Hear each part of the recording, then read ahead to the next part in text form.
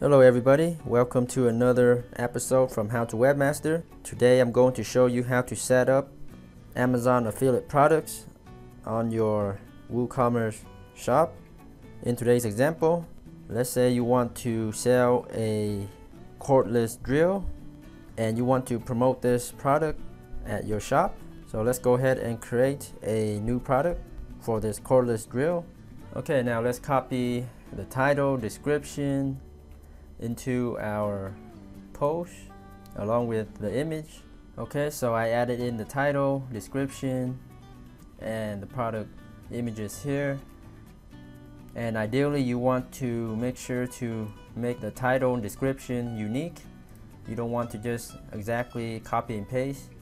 And Amazon will not allow that as well. So it's best to just make sure everything is unique as possible. So now that you have the images and description under product data right here. Select external affiliate product.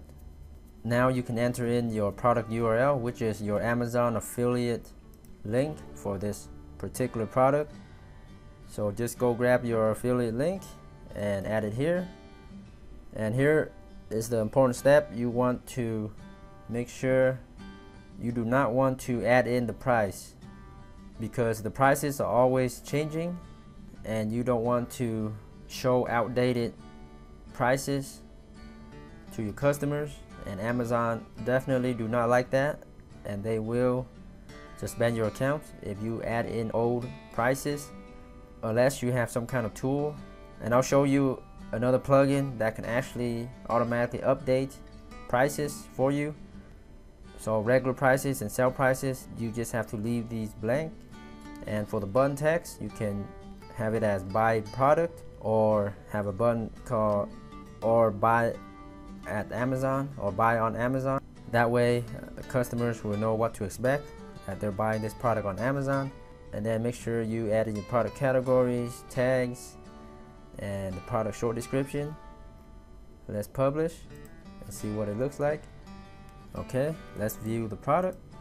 So there's our product Amazon product right here. It's got all the galleries and the buy on Amazon button and the prices is hidden.